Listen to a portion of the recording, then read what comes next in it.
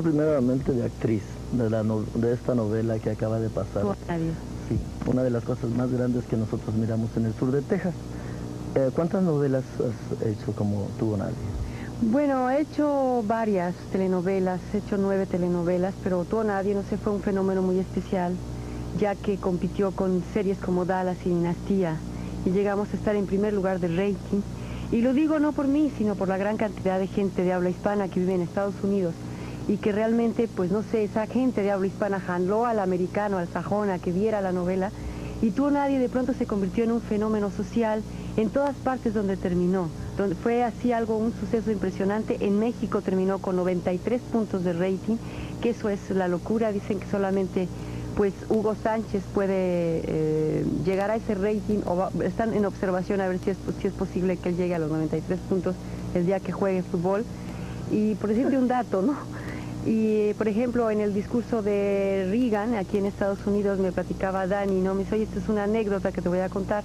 Hoy Reagan tiene un, discurso y tuvimos que pasarlo a las 11 de la noche porque hoy termina tu o nadie. Entonces oh. no podemos pasar el discurso de Reagan, ¿no? Sí, Aquí estamos unidos para conocerte mejor, Lucía. Para conocerte mejor a través de Univisión aquí y en muchos países de Iberoamérica.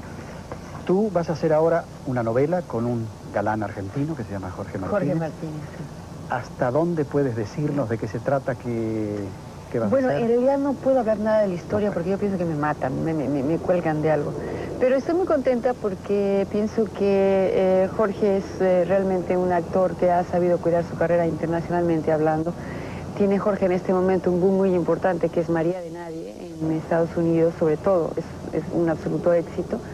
Y creo que tiene muchas ganas y es un, hombre muy profesional. Es el tipo de actor que no precisamente es el bonito, perfecto, sino Jorge es el clásico actor varonil que puede ser tierno o puede ser muy malo. O sea, tiene ese matiz que también es galán actor.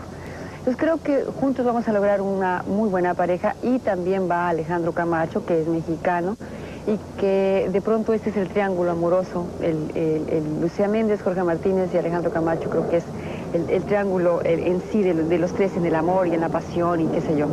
Entonces eh, creo que es una historia distinta, es una, obviamente una gran historia de amor, pero eh, he escogido un nuevo director, un nuevo productor, una nueva escritora y todo ha sido otro equipo diferente al de Tu o Nadie, porque creo que me llama mucho la atención el probar cosas nuevas. Y a propósito de eso que tú dices que eres una productora sin el título, dentro de las telenovelas también tú influyes como para hacer cambiar determinadas cosas que se...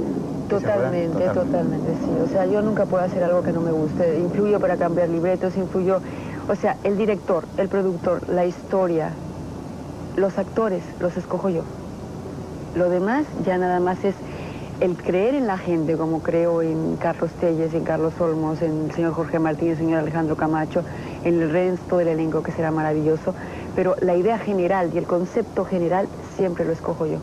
Y siguiendo con el tema, con Juan Gabriel, con Camilo VI, con Honorio Herrera. Con Honorio exacto, Exacto. Siempre también conversan. Sí, converso, converso. Hasta decir, esto es lo que yo haría. Exactamente, sí. sí, sí y ellos generalmente aceptan. Porque... Lo aceptan, lo aceptan, sí, porque los convenzo, los convenzo, los convenzo. claro, o sea, me digo, mira, mira, es que yo necesito esto porque yo pienso que quiero esto, y Rafael Pérez Botija y Honorio.